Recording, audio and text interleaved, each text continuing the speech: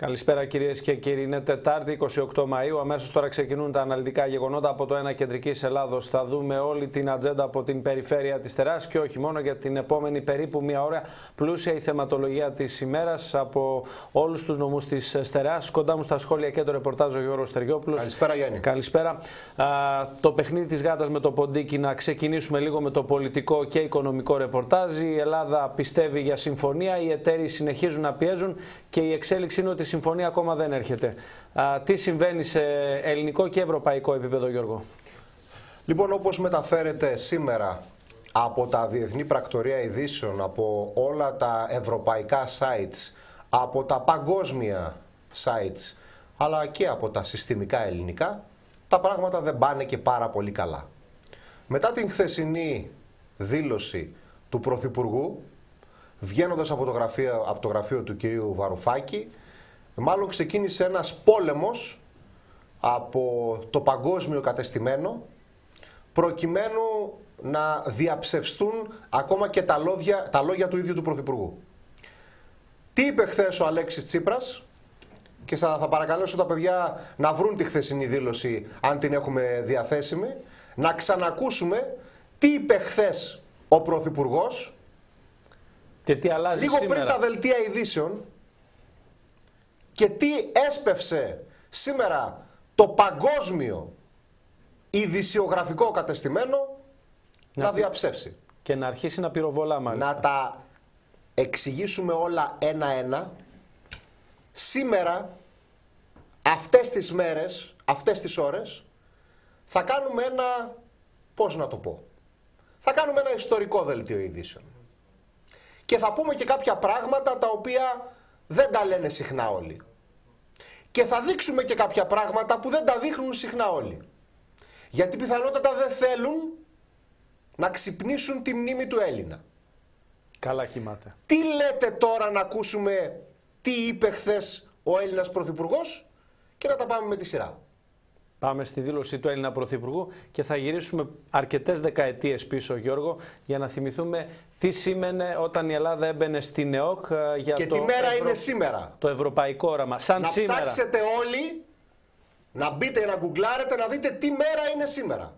Σήμερα είναι η μέρα που μπήκε η Ελλάδα στην ΕΟΚ.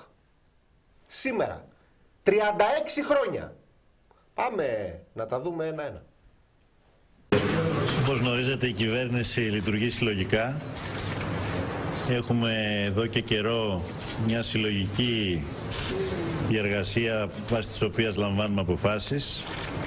Προφανώς και η τελική ευθύνη αναλογεί στον Πρωθυπουργό και στο Υπουργικό Συμβούλιο.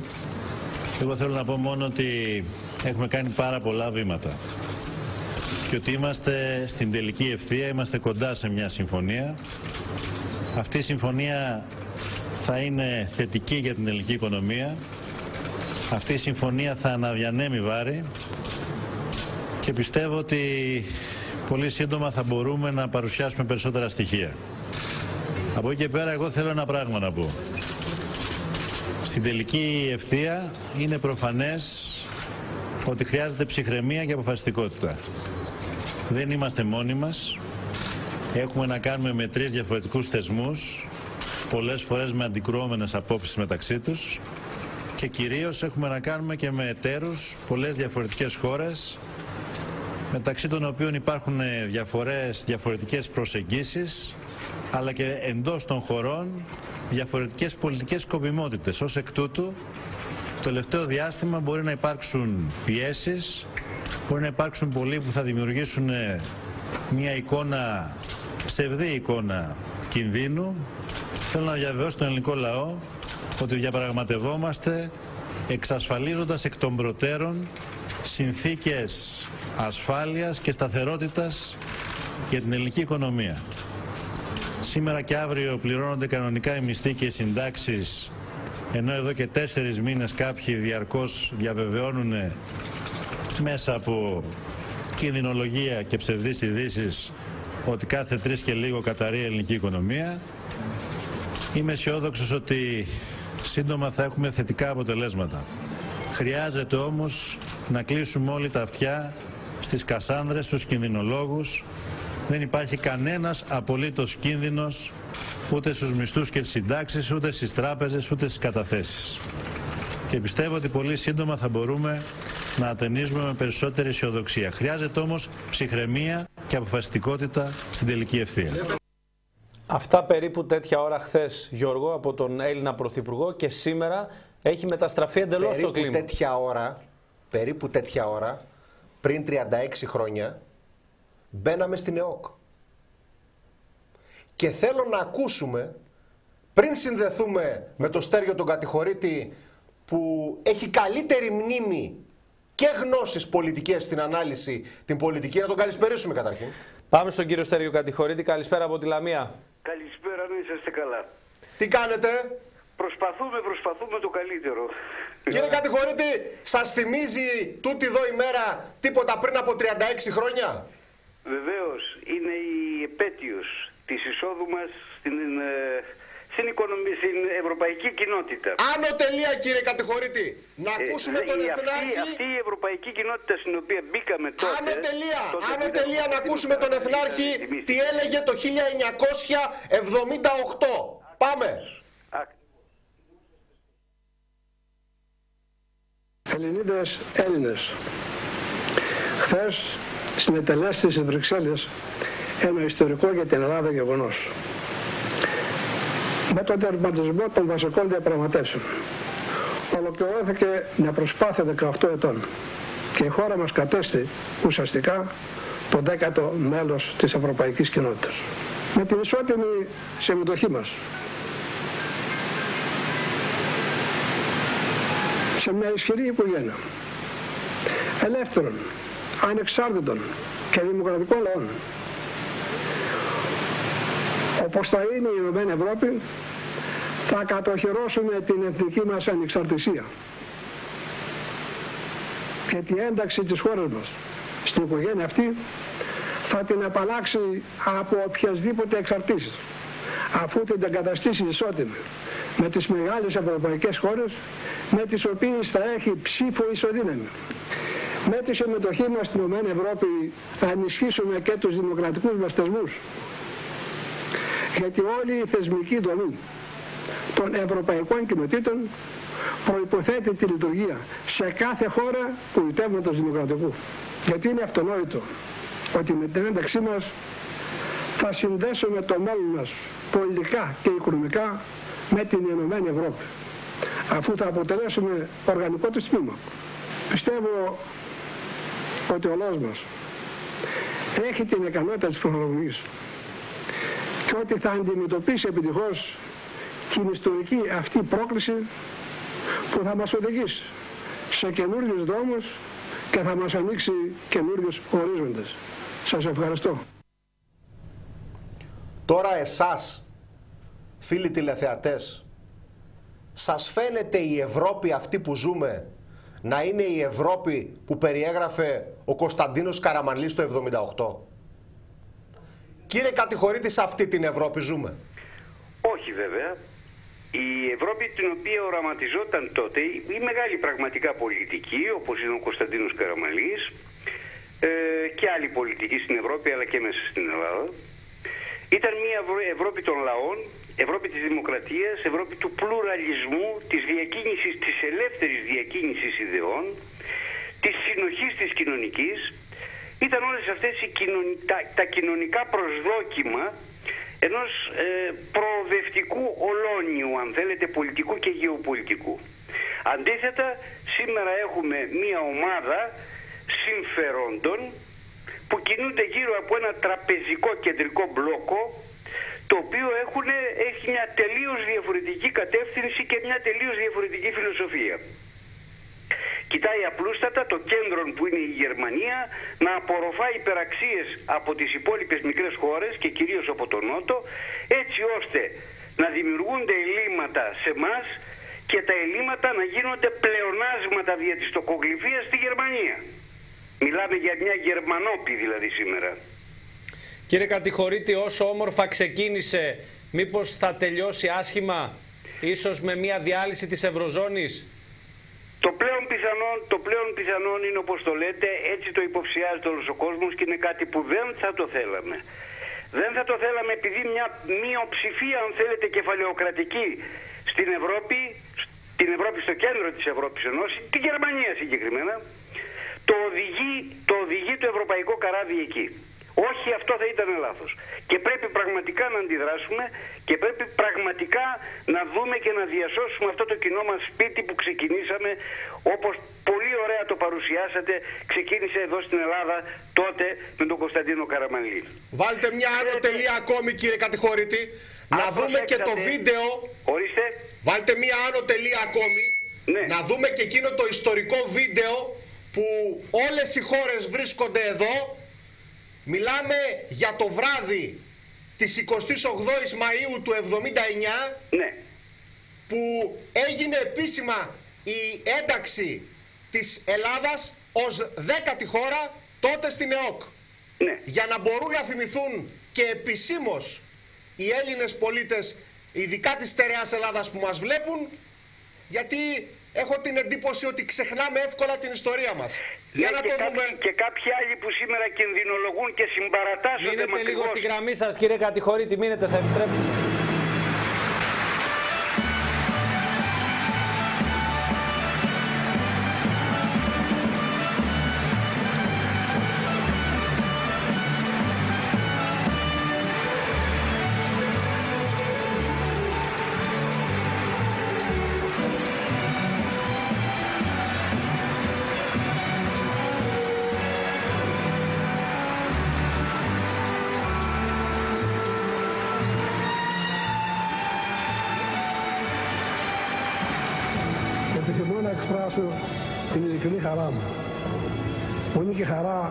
Του ελληνικού λαού για την παρουσία σας στη χώρα μου που γίνεται από σήμερα και δική σας χώρα.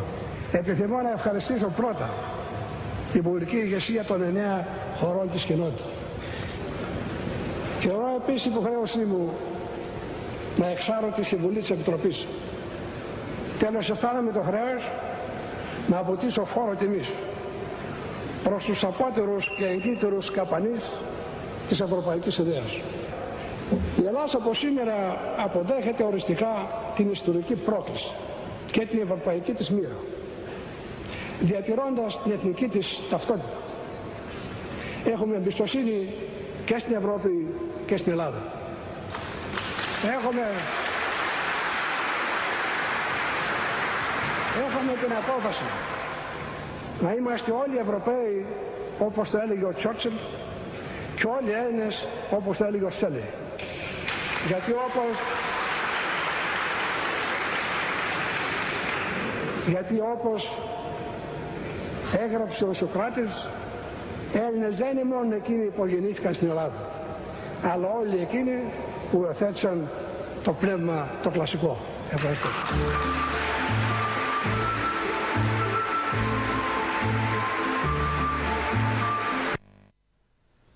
Κύριε Κατηχωρήτη, συγκινητικό πραγματικά. Συγκινητικό και οδυνηρό παράλληλα.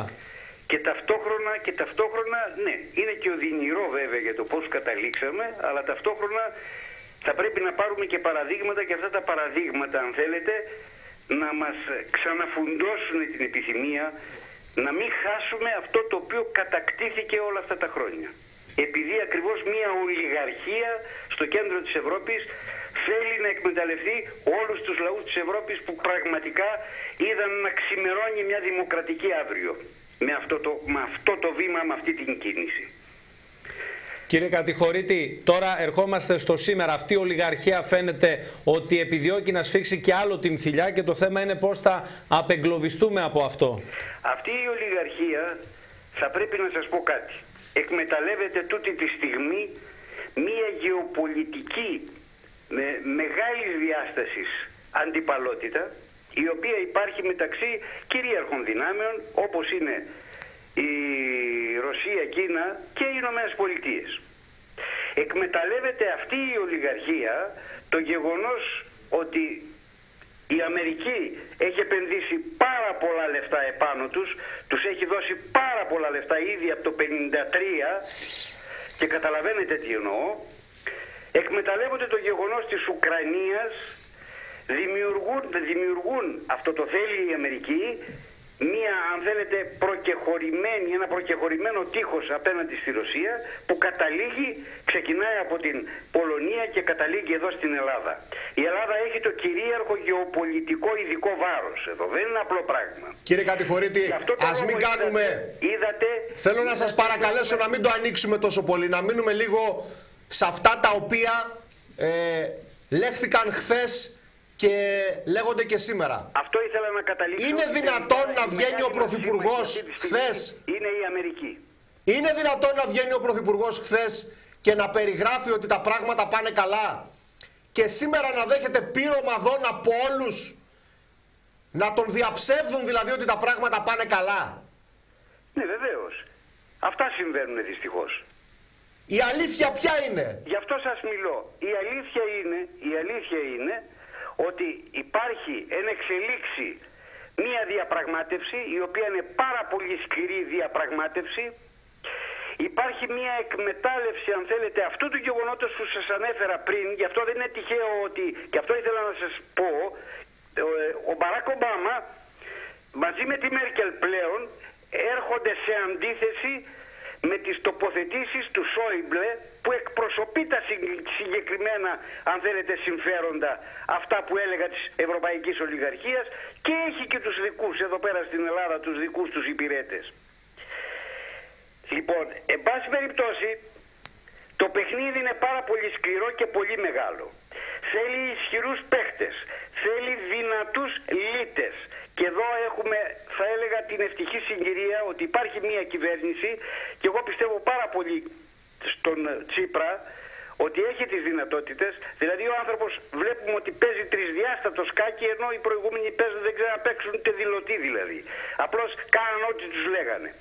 Εκμεταλλεύεται αυτή τη μεγάλη συγκυρία και πρέπει να το κατανοήσουμε σε αυτή τη διάσταση ότι όχι έτσι απλά να παίζουμε στα κανάλια και να λέμε ξέρεις θα με αυτό θα σπουκάρουμε, θα μας πάρουμε τα αυτά, δεν θα έχουμε λεφτά στο ATM, δεν θα κάνουμε από εδώ από εκεί. Αυτά είναι αστεία πράγματα, ειλικρινά και πρέπει να δούμε τη γεωπολιτική διάσταση του πράγματος και τον τρόπο με τον οποίο παίζεται αυτή η διαπραγμάτευση. Ε, Κύριε Κατηγορητή. Και είμαι αρκετά αισιόδοξος ότι πολύ γρήγορα θα έχουμε μια πολύ καλή εκμετάλλευση, ε, κατάληξη του πράγματος και μια πάρα πολύ καλή συμφωνία. Κύριε Κατηγορήτη, να ρωτήσω κάτι. Ναι. Θα το ρωτήσω έτσι όπως ιστορικά έτσι ε, το, μου έρχεται στο μυαλό. Ανήκομεν ακόμη στη Δύση; Ε, εκεί είναι το σπίτι μας. Στη Δύση. Όπως και να το κάνουμε. Στους Έλληνες, στους, Έλλη... στους Έλληνες ανήκουμε κύριε Κατηγορητή. Ορίστε. Στους Έλληνες ανήκουμε; Αυτό είναι μια άλλη ιστορία. Εγώ όμως θα ήθελα, δεν θα ήθελα να το βλέπω αν θέλετε με τις λογικές της βιομηχανικής επανάστασης σε μια ηλεκτρονική εποχή. Αυτή είναι μια κουβέντα που πραγματικά είχαν υποθεί πολλά ότι με την Ευρωπαϊκή Ένωση θα είμαστε η ουρά της Δύσης, ενώ αν είμαστε στην Ανατολή θα είμαστε η κεφαλή της Ανατολής. Υπήρξαν διάφορα τέτοια σχήματα και παίζονται πάντοτε. Ε, δεν νομίζω ότι παίζεται πια το Ανατολή-Δύση. Ε, σαν, σαν πληθυσμοί, σαν ιστορική πραγματικότητα και διαχρονία δεν έχει να κάνει. Είμαστε πραγματικά στην Ευρώπη αυτή τη στιγμή. Είμαστε στη λογική της Δύσης. Όπως και να το κάνουμε, η Δύση ανήκει σε εμάς, έτσι. Εμείς τη γεννήσαμε εδώ. Η ελληνική δημοκρατία εδώ ξεκίνησε την για βάλτε, Για βάλτε για τρίτη φορά μια άνω τελεία να θυμηθούμε έτσι αυτό το ιστορικό λεπτό στο ελληνικό κοινοβούλιο μεταξύ του Κωνσταντίνου Καραμαλή και του Ανδρέα Παπανδρέου. Μάλιστα. Πάμε παιδιά. Συμφωνούμε με την κυβέρνηση μόνο σε ένα σημείο. Ότι η απόφαση, η επιλογή της ένταξης της Ελλάδας στην κοινή αγορά είναι η πιο κρίσιμη απόφαση που έχει πάρθει για το έθνος, η οποία πάρθηκε στον βωμό του ανήκομεν ή στην Δύση. Δεν το επαναλαμβάνετε αυτό, με συγχωρείτε. Με συγχωρείτε, δεν το επαναλαμβάνετε, το αρχίζετε με αυτό. Η Ελλάδα ανοίξει τον δικό κόσμο. Θέλετε από παράδοση, θέλετε από συμφέροντα, ανοίξει τον δικό κόσμο. Όταν λοιπόν απαλαμβάνεσαι πως πω ανήκουμε στην Δύση και βέβαια ανήκουμε στην Δύση όπως άλλοι λαοί ανήκουν στους Αντασμεύτους, ανήκουν στους Ανατολικούς, ανήκουν στους Αφρικανούς Οπότε ένα αυτή ανήκουμε στην Δύση. Προτιμούμε να ανήκουμε στους Έλληνες. Λοιπόν, εγώ πιστεύω ότι ανήκουμε στη Δύση. Ε, Αλλά πιστεύω αυτό... επίσης ότι ανήκουμε και στους Έλληνες. Το θυμάμαι σαν το ραδά, ειλικρινά σας το λέω. Και έτσι είναι συγκινητικό γιατί γυρίζουμε πίσω, τι να κάνουμε. Ε, ήταν ένα εμφιολόγημα, αν θέλετε, πιασάρικο τώρα του Παπανδρέου, αλλά στερείται και λιγάκι έτσι. Εντάξει, ωραίο, ωραίο. Ανήκουμε στους Έλληνες και προτιμούμε να ανήκουμε στους Έλληνες. Ναι, αλλά ανήκουμε και στη Δύση όμως. Έτσι. Όταν λέμε Δύση, εννοούμε έναν άλλο πολιτισμικό και πολιτιστικό τρόπο. Δεν είμαστε Ανατολοί, δεν είμαστε φονταμεταλιστές. Είμαστε δημοκράτες σε τελευταία ανάλυση στην κοινωνική διάσταση του θέματος και του ερωτήματος. Όμως επανέρχομαι στα, στα γραπτά, στα ιστορικά της ημέρας, κύριε Κατηχωρητή. Ναι. Η Ευρώπη που οραματίστηκε ο Εθνάρχης ο Κωνσταντίνος Καραμανλής δεν είναι η Ευρώπη που αντιμετωπίζει σήμερα η κυβέρνηση. Όχι βέβαια. Όχι βέβαια. Σας το είπα από την αρχή. Δεν έχει καμία σχέση. Αυτό είναι ένα μόρφωμα γερμανικό. Αυτό μας γυρίζει πίσω στο 1936. Και να μην έρθουμε τώρα πάλι πίσω και συζητάμε διάφορα πράγματα γιατί μπορούμε να μιλάμε με τις ώρες. Τι κάνουμε από εδώ και πέρα; Ακριβώς. Αυτή τη στιγμή γίνεται μια διαπραγμάτευση. Έχουμε τα εσωτερικά μας προβλήματα, τα οποία είναι πάρα πολύ σημαντικά. Έχουμε αν θέλετε ένα μεγάλο χρέος, το οποίο δεν παλεύεται. Θέλει, ε, τι να σας πω, θέλει απίθανα πράγματα και κυρίως θέλει μια διαγραφή χρέους, έτσι, κομματιού, όπως το 53 ακριβώς κάνανε και έκανε όλος ο κόσμος με τη Γερμανία, για να μπορέσουμε να σηκώσουμε, αν θέλετε, το κεφάλι και να μπορέσουμε να μιλήσουμε για ανάπτυξη μέσα στην Ελλάδα. Να μπορέσουμε να μιλήσουμε για αναδιανεμητική πολιτική μέσα στην Ελλάδα. Έχουμε εδώ αυτό το πρόβλημα πέρα από τα γεωπολιτικά. Και εδώ πρέπει να στηριχτούμε. Ο Μπαράκ Ομπάμα χτες άπλωσε τα χέρια και μας στηρίζει. Η Μέρκελ συμφωνεί. Η ομάδα Σόιμπλε αντίθετα πήρε, πήρε τα παράνταλα που λέμε στη Λαμία πραγματικά και βγήκε στα κανάλια ο κύριος Σόιμπλε, δεν τόλμησε να φύγει από τη Γερμανία, γύρισε τα περιφερειακά κανάλια και άρχισε να, να επιτίθεται πραγματικά και να λέει, να λέει απαντώντας στον Ομπάμα εμείς στην Ευρώπη θα λύσουμε τα, τα ευρωπαϊκά πράγματα. Δεν δεχόμαστε άλλους. Επίθεση κατά της, κατά της αμερικάνικης πολιτικής του, του Μπαράκ Ομπάμα. Είναι χοντρό το πρόβλημα αυτή τη στιγμή. Βεβαίως αυτά τα οποία προσδοκούμε και τα προσδοκούμε από μια κυβέρνηση η οποία πραγματικά διαπραγματεύεται και πραγματικά ξέρει να διαπραγματεύεται. Σε ένα υψηλότατο θα έλεγα γεωπολιτικό επίπεδο. Εγώ τις έχω απόλυτη εμπιστοσύνη. Πιστεύω ότι θα έχουμε μια πολύ καλή συμφωνία η οποία θα λύνει προβλήματα και δεν θα αποδέχεται όλες αυτές τις φοβερές πιέσεις της λιτότητας την οποία θέλαν να μας επιβάλλουν. Όπως είναι κοντά στη μισή σύνταξη που να παίρνουν το μισό ποσό του. Αντιλαμβάνεται κύριε Κατηχωρήτη ο κόσμος την προσπάθεια της κυβέρνησης; Ο κόσμος πρέπει, πρέπει να συστρατευτεί και να το κατανοήσει. Εκείνο που είναι βέβαιο είναι ότι υπάρχει μια κυβέρνηση η οποία διαπραγματεύεται, παλεύει, αγωνίζεται και ξέρει. Και δεν λέει απλά, γιατί είδατε τον κύριο Γκρουγκέρ που είπε τι να κάνουμε, εντάξει, αλλά όταν ρωτήσανε για τον προηγούμενο, είπε α ναι, ναι, συνεννοούμε θα λέει, πάντοτε λέει συμφωνούσε. Ναι, ναι, ναι, αυτό θέλανε. Να συμφωνούνε. Για βόλ, για βόλ καπτέν. Όχι διαπραγμάτευση. Εγώ πιστεύω ότι γίνεται διαπραγμάτευση και πιστεύω ότι θα έχουμε καλό αποτέλεσμα και πάρα πολύ σύντομα. Μάλιστα. Σας ευχαριστούμε κύριε Κατηχωρήτη. Καλό βράδυ κύριε Κατηχωρήτη. Να είστε καλά. Αυτά λοιπόν και με την πολιτική ανάλυση θα επιστρέψουμε ίσως στην πορεία του δελτίου. Πάμε στην Θα μπορούσαμε ναι, να πούμε πάρα πολλά πράγματα. Θα μπορούσαμε να δείξουμε και ιστορικά πάρα πολλά πράγματα. Θα μπορούσαμε να δείξουμε δηλώσεις, τοποθετήσεις πρωθυπουργών, Υπουργών Οικονομικών, πολλών από την μεταπολίτευση και μετά, που στηρίζουν ή δεν στηρίζουν την ευρωπαϊκή πορεία. για να κατανοήσει και ο κόσμος ότι όλα αυτά που ζούμε σήμερα δεν προκλήθηκαν ξαφνικά μετά την ανακοίνωση στο Καστελόριζο του Παπανδρέου. Έχει μια ιστορική συνέχεια αυτή η οικονομική περιπέτεια της χώρας. Σωστά. Και θα πρέπει οι Έλληνες, αν θέλουν πραγματικά να μην τρώνε κουτόχορτο καθημερινά, να προσεγγίσουν στο βαθμό που μπορούν τα ιστορικά δεδομένα και να δουν μόνοι τους. Να μην πιστεύουν κανέναν. Κανέναν όμως. Να ανοίξουν τα βιβλία, να διαβάσουν, να συνειδητοποιήσουν τι ακριβώς συμβαίνει, γιατί αυτές οι ημέρες, είτε αρέσει σε κάποιους είτε δεν αρέσει, θα παίξουν πολύ σημαντικό ρόλο. Σωστά. Πολύ σημαντικό ρόλο.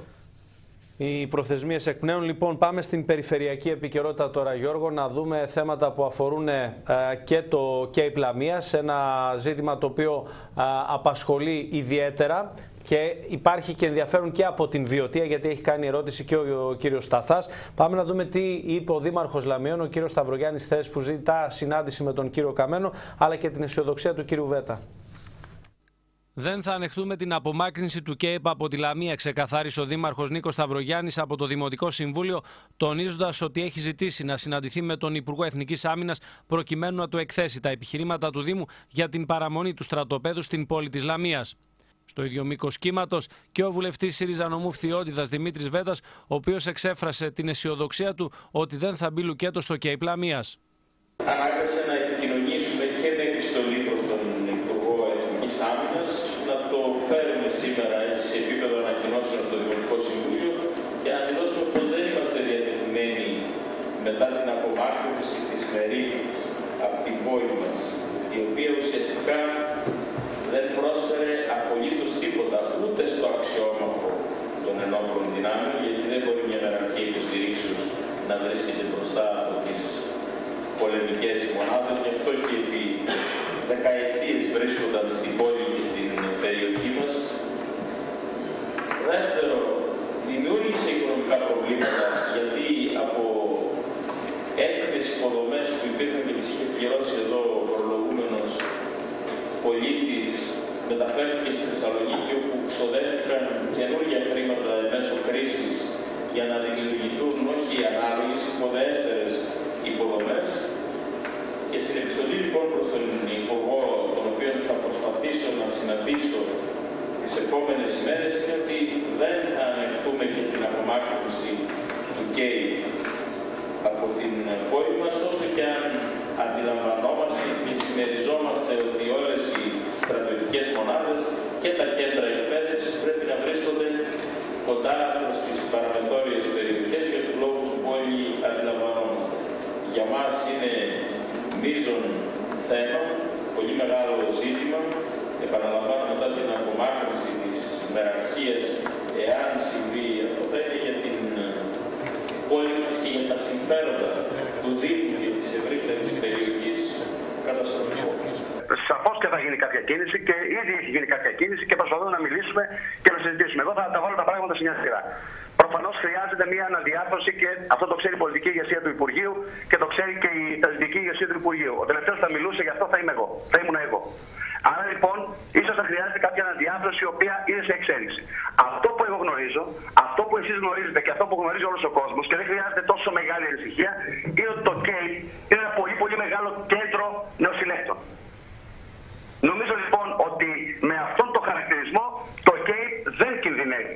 Νομίζω ότι αν χρειάζεται μόνο τέσσερα στην Ελλάδα, ένα από τα τέσσερα θα είναι το ΚΕΙ. Αυτά από τον κύριο Βέτα. Πάμε στην τηλεφωνική επικοινωνία στο στέλεχος των ανεξάρτητων Ελλήνων ομού Φθιώτιδας, τον ε, κύριο Θοδωρή Χιμάρα και πρώην αξιωματικό του ελληνικού στρατού. Καλησπέρα κύριε Χιμάρα.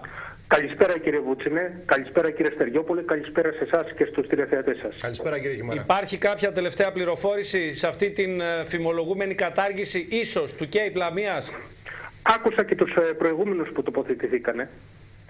Ε,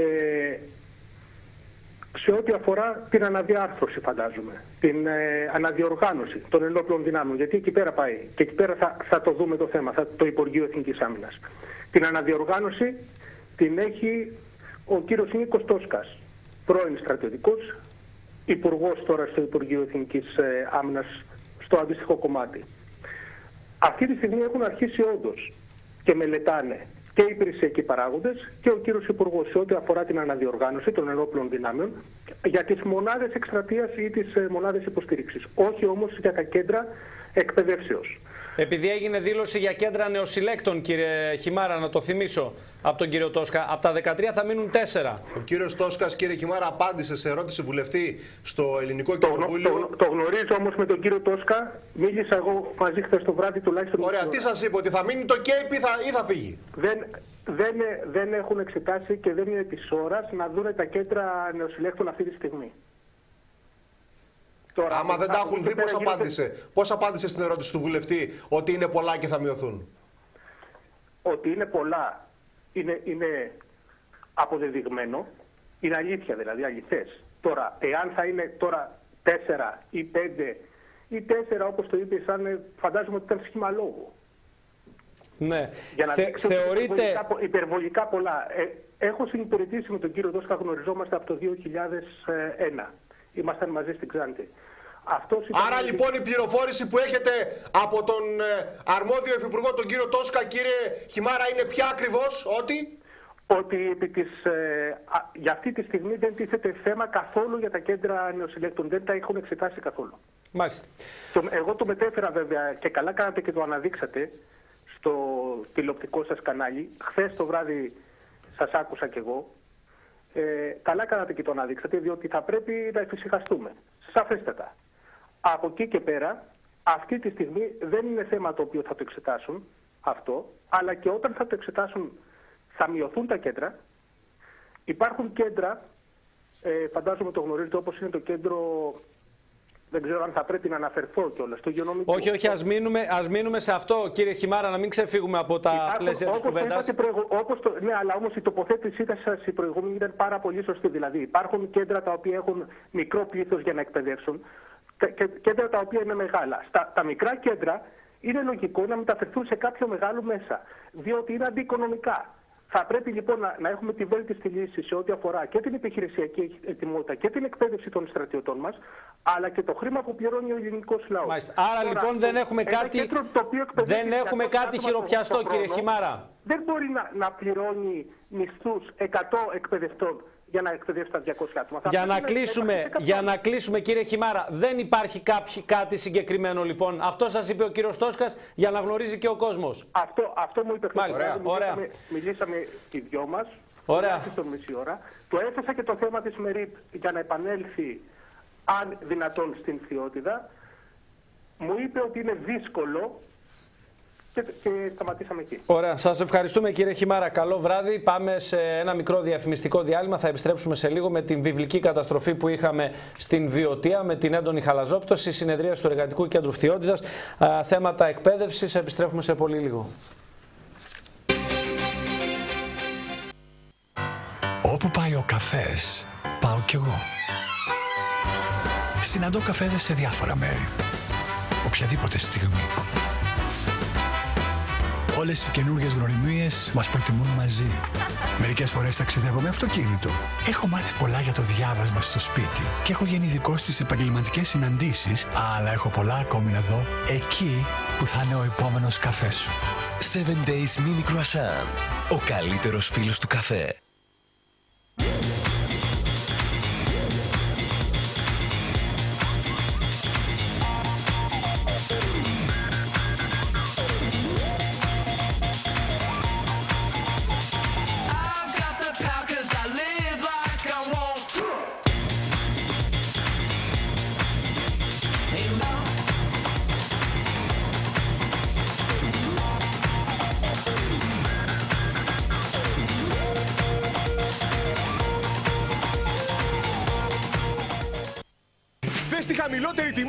Τιμή στα πλακάκια. Πάρτι! Θες τη χαμηλότερη τιμή στα είδη υγιεινής; Πάρτι! Θες εγγύηση χαμηλότερης τιμής; Πάρτι!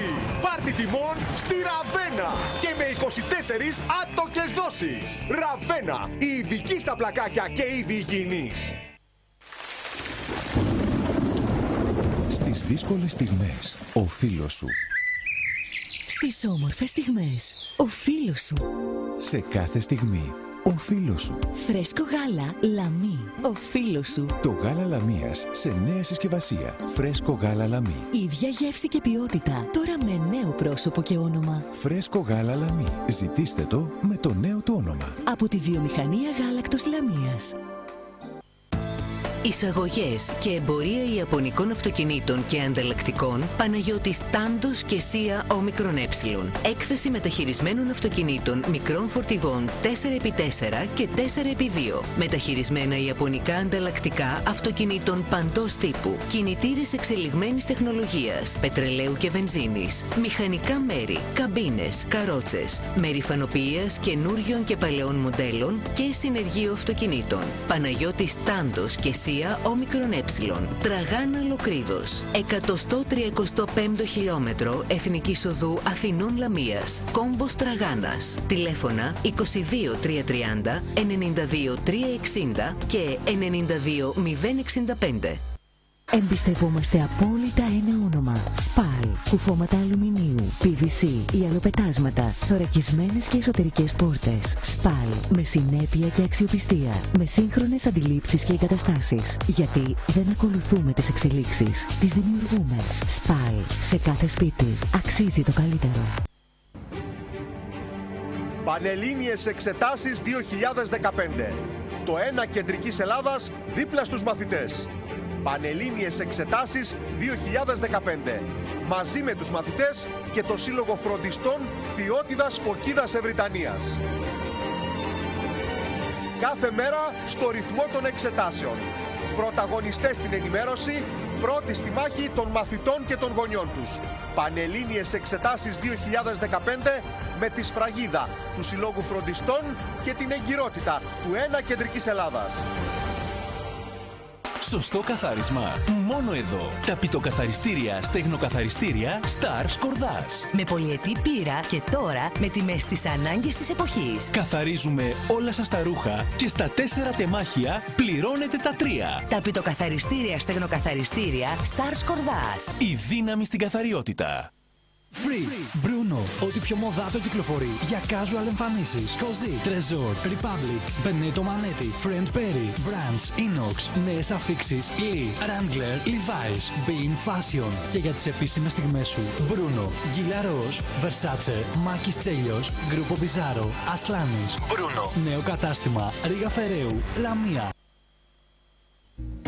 Το πάρκινγκ της πλατείας Πάρκου ξανά στη διάθεσή σας. Πλήρως ανακατασκευασμένο. Με νέο σχεδιασμό και φιλοσοφία προσφέρει την ιδανική λύση πάρκινγκ στο κέντρο της πόλης. Ξανά κοντά σας με τα πλέον σύγχρονα τεχνολογικά μέσα, με άριστη εξυπηρέτηση και υψηλές προδιαγραφές ασφάλειας. Με εύκολη πρόσβαση από τις οδούς Κολοκοτρώνη και Αγίου Νικολάου, η υπόθεση παρκάρισμα στο κέντρο της πόλης είναι πλέον εύκολη υπόθεση. Πάρκινγκ της πλατείας Πάρκου. Η λύση πάρκινγκ στην καρδιά της Λαμίας.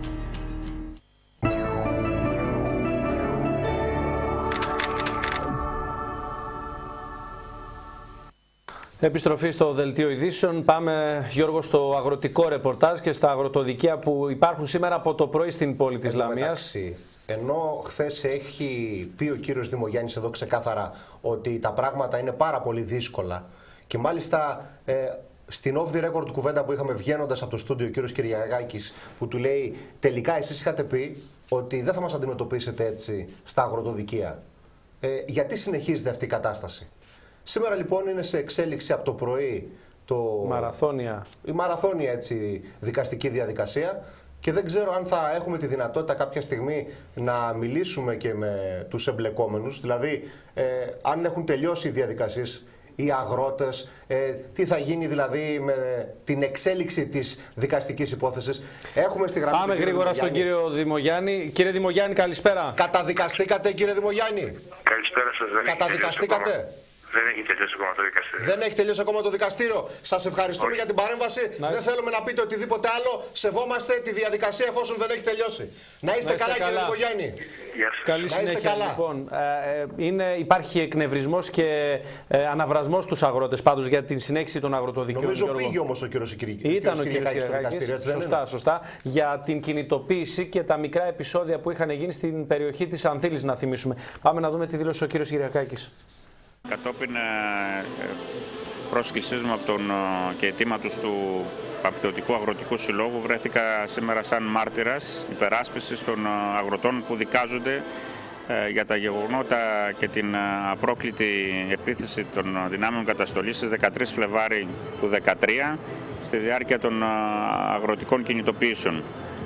Ε, υπήρχε μια πραγματικά ανέτεια, θα λέγαμε, επίθεση της, ε, των δυνάμεων καταστολής σε μια ειρηνική ε, εκδήλωση διαμαρτυρίας των αγροτών στην περιοχή της ε, Ανθήλης ε, και κατέθεσα και την, ε, ε, την εκτίμησή μου και τη μαρτυρία μου από την ε, γεγονότα αυτά αλλά και την ε, πολιτική διάσταση της ε, ε, κατάστασης ε, που φαινόταν ξεκάθαρο ότι υπήρχε μια πολιτική εντολή μηδενικής ανοχής και προληπτικών ε, κατασ- καταστολών όχι μόνο στις αγροτικές κινητοποίησεις εκείνη την εποχή αλλά και σε κάθε εκδήλωση διαμαρτυρίας του ελληνικού λαού και των εργαζόμενων.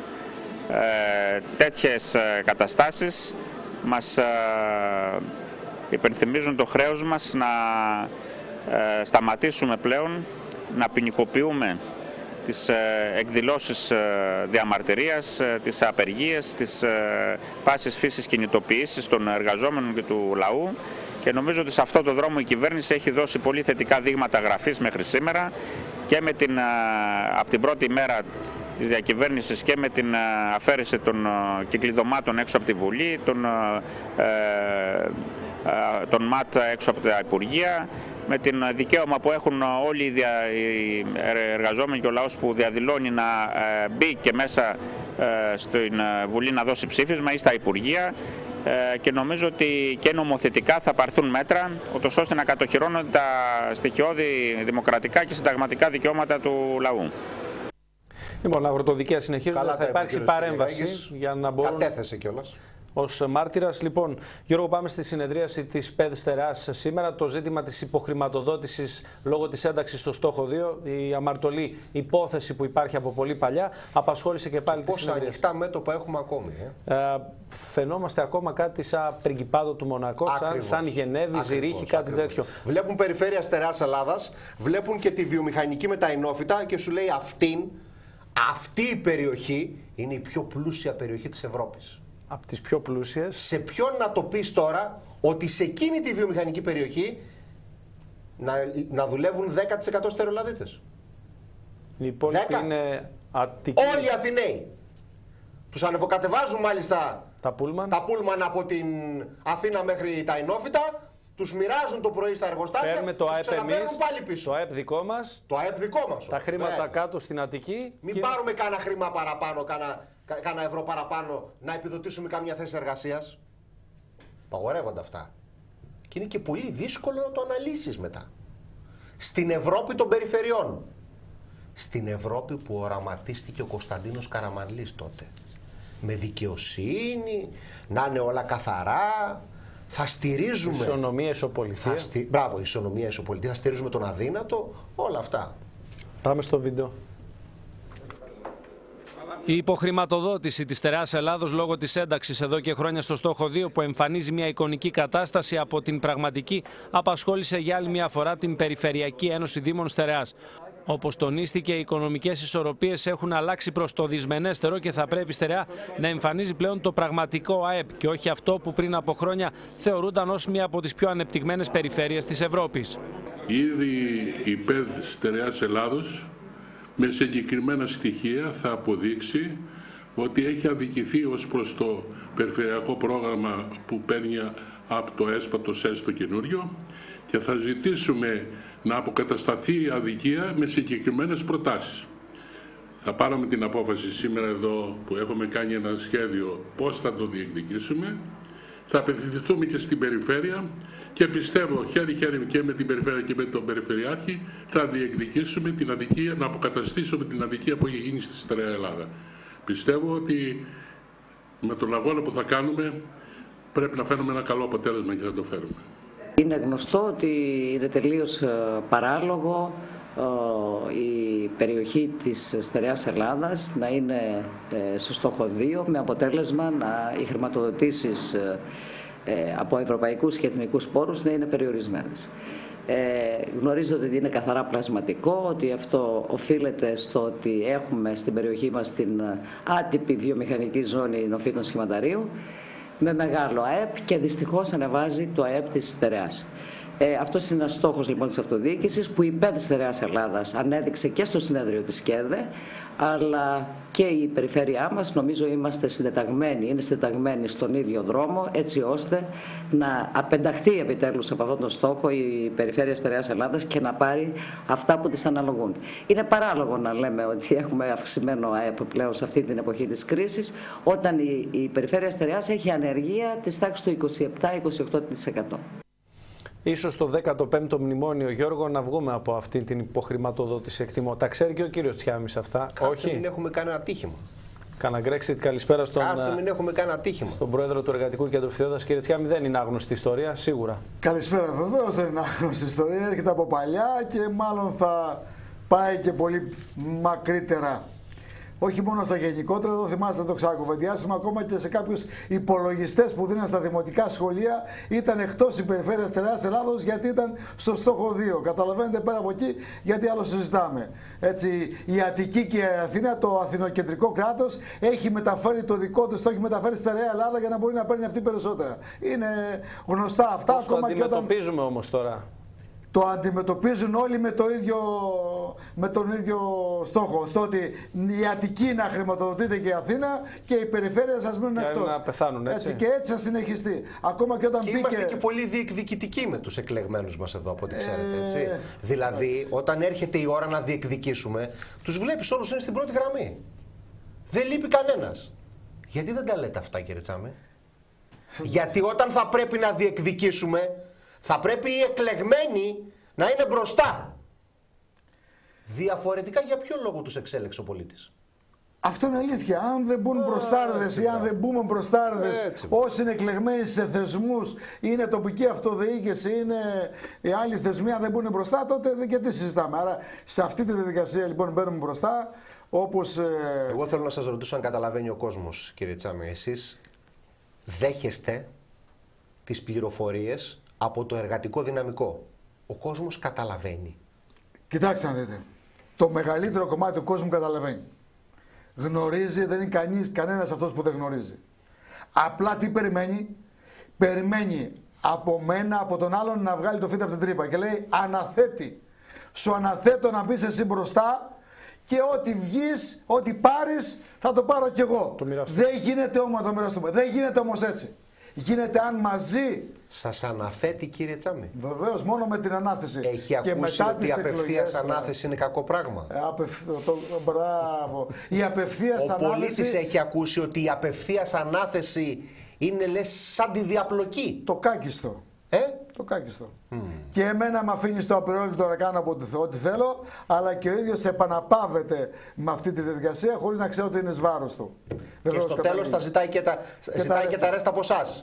Γιατί σου λέει, Εγώ σε εξέλεξα. Τι έκανες εσύ. Ε; Αυτό δεν λέμε. Δυστυχώς δεν γίνεται. Σα αναθέτει λοιπόν. Τι ωραία κουβέντα είπατε. Με ανάθεση και μετά τις εκλογές όπως πάντα γίνεται, ξέρετε, είμαστε όλοι εφησυχασμένοι ότι όλα μπορεί να τα κάνει πάλι η κυβέρνηση με τον Πρωθυπουργό ή με δύο-τρεις υπουργούς και τελείωσε. Εάν δεν μπει ξανά ο κόσμος μπροστά, οι εργαζόμενοι μπροστά στη διαδικασία να πιέσουν, είτε αυτό είναι σε τοπικό επίπεδο, είτε αυτό είναι σε επίπεδο κυβέρνησης, ότι συμμετέχουμε Ακόμα και σε αυτή την ρημάδα τη διαπραγμάτευση που να δούμε πώς θα καταλήξει, που η αγωνία έχει φτάσει στο κατακόρυφο πόλο, αλλά να δούμε αν είμαστε διατεθειμένοι να μπούμε μπροστά σε αυτή τη διαδικασία. Ή και να πούμε και λίγο, είναι ο κόσμος έτοιμος που βλέπουμε λέμε ότι οι θεσμοί, η Τρόικα μας επιβάλλουν, μας εκμεταλλεύονται, μας πιέζουν. Είμαστε έτοιμοι σε μια δικασία ακόμα και ρήξεις, ε, κύριε Στεριόπουλε.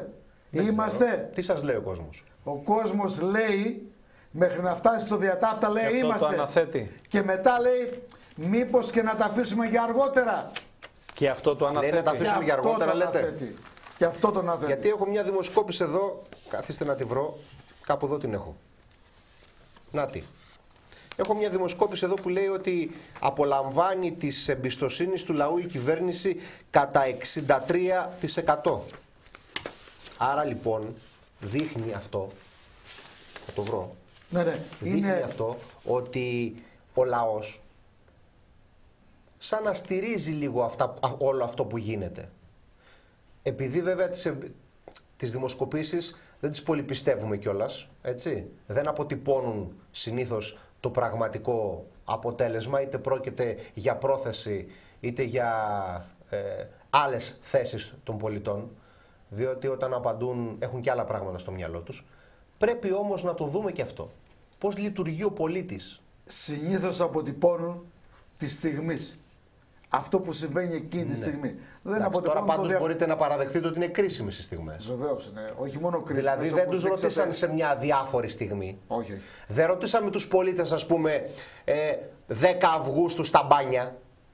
Έχετε δίκιο σε αυτό και πράγματι σήμερα και. Τους επειδή- ρωτήσαμε. Επειδή παρακολούθησα και λίγο. Αφήστε το- λίγο το- τώρα να πω κάτι, Το γιατί ιστορικά. έ- έ- έχει σημασία. Τα, πα- τα παρακολουθήσατε τα ιστορικά; Ήτανε κάτι Σας που- άρεσαν; Όχι μόνο μου. Να μου πούμε, άρεσαν, να πούμε αλλά τώρα τα φρέσκα τα ιστορικά. Με άγγιξαν. ε, Σε τι κατάσταση βρίσκεται σήμερα, σήμερα, σήμερα ο Έλληνας πολίτης; Παρακολουθεί την κυβέρνηση να διαπραγματεύεται. Ένα.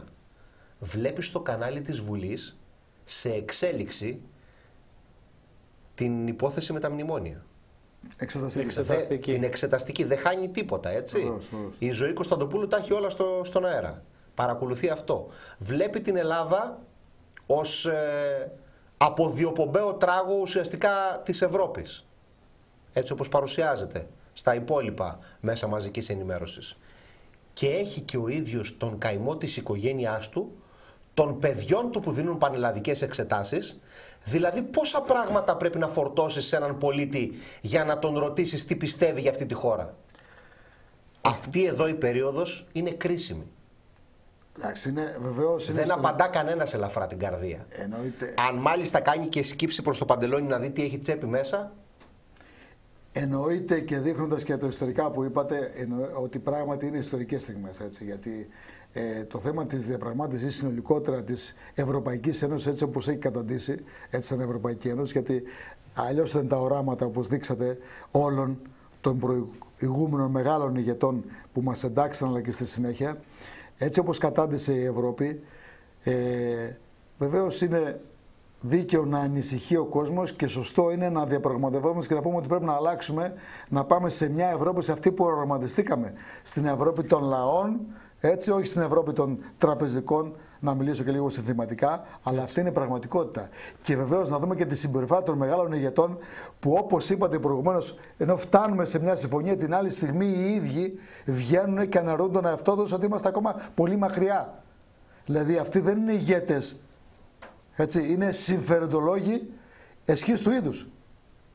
Έτσι. Άρα λοιπόν, εδώ είναι πάρα πολύ σοβαρά τα πράγματα. Έτσι, πράγματα, αυτή η διαπραγμάτευση θα δούμε πώς θα καταλήξει και είναι πάρα πολύ κρίσιμη και γι' αυτό και πρέπει και εμείς και σαν εργαζόμενοι αλλά και σαν λαός να ακούμε όλα αυτά, να φέρουμε και να σχηματίζουμε τη δική μας άποψη, αλλά να, να είμαστε ενεργοί πολίτες και όχι για όλα αυτά που ακούμε, τα μαζεύουμε να μας κάνουν πιο απαθείς και πιο σαλονάτους. Πιο ενεργούς, πιο κριτικούς που να συμμετέχουμε σε οποιαδήποτε διαδικασία και αν είναι αυτή. Ε, τώρα λένε είναι περίοδος των διαπραγματεύσεων, κύριε Τσιάμι. Έτσι δεν λένε οι περισσότεροι. Έτσι. Ή πρέπει να το απεμπλέξουμε αυτό; Όχι, έτσι, έτσι είναι, αλλά στη διαπραγματεύση συμμετέχουμε και εμείς στις τοπικές διαπραγματεύσεις, αν θέλετε, και να πάμε και στα δικά μας εδώ στο θέμα των, της υγείας και των νοσοκομείων, που διαπραγματεύσεις σε τοπικό επίπεδο είναι να δούμε τι μπορούμε να κάνουμε και εμείς στα δικά μας πέρα από τα γενικότερα. Εδώ νομίζω ότι οφείλω να ρωτήσω και εσάς Βεβαίως. αν όλα έχουν σχέση με τη διαπραγμάτευση στο τέλος. Δηλαδή δεν υπάρχουν πολιτικές που μπορούν να ασκηθούν παρά το γεγονός ότι η χώρα διαπραγματεύεται. Γιατί έχει νεκρώσει το υπόλοιπο σύστημα; Κοιτάξτε να δείτε, είναι αλήθεια ότι το θέμα της διαπραγμάτευσης είναι το κεντρικό, η κεντρική πολιτική σκηνή που θα δώσει τις κατευθύνσεις. Προσπεράστε το. Έχει Σας το δικό ρώτησα του κομμάτι. για τις Πάνω ενέργειες από που εκεί. μπορούν να γίνουν σε τοπικό έξω από τη επίπεδο. δια- έξω από τη Μπράβο. διαπραγμάτευση. Σε τοπικό επίπεδο. Παράδειγμα, θα πω ένα παράδειγμα. Δεν μπορεί, ενώ είμαστε σε αυτή τη μεγάλη κρίση, η κυρία Αντωνίου που ορίστηκε υπεύθυνη επισιάρχησα για την στερεά Ελλάδα να δίνει εντολή να πάρει τα έπιπλα από τη Λαμία να τα πάει στη Λάρισα. Βοηθάει αυτό σε τίποτα σε αυτή τη δύσκολη στιγμή; Αυτό είναι το δικό μας ζήτημα. Δεν είναι ζήτημα διαπραγμάτευσης. Απλά, απλά πυροδοτεί. Απλά πυροδοτεί. Απλά προκαλεί. Αντί να βοηθήσει μια διαδικασία. Και ψυχολογικά και τους εργαζόμενους και τους θεραπευτέ και το νοσοκομείο και οτιδήποτε. Ο διορισμός του διοικητή είναι θέμα διαπραγμάτευσης; Όχι βέβαια. Να ρωτήσετε τον κύριο Κυριακάκη. Λοιπόν, άρα είναι ζητήματα που μπορούμε να λύσουμε κι εμείς. Δηλαδή δεν είναι ζητήματα που όλα τα αφήνουμε σε κάποιους άλλους. Άρα είναι ζητήματα που πρέπει εδώ να τα βάλουμε με πολύ σοβαρότητα. Γιατί χθες που είχαμε και τον πρόεδρο των εργαζομένων από το νοσοκομείο εκεί, μας είπαν και οι εργαζόμενοι όπως το ξέρουμε, εάν δεν υπάρχει ψυχική υγεία, υγεία η δική μας και ηρεμία, μα πώς θα μπορέσουμε τους αρρώστους που έρχονται εκεί να μπορέσουμε να τους εξυπηρετήσουμε με πολύ μεγαλύτερη. Και θα περίμενε κανείς σε μια αριστερή κυβέρνηση αυτό να ήταν πραγματικά προτεραιότητα ανεξαρτήτως διαπραγμάτευσης.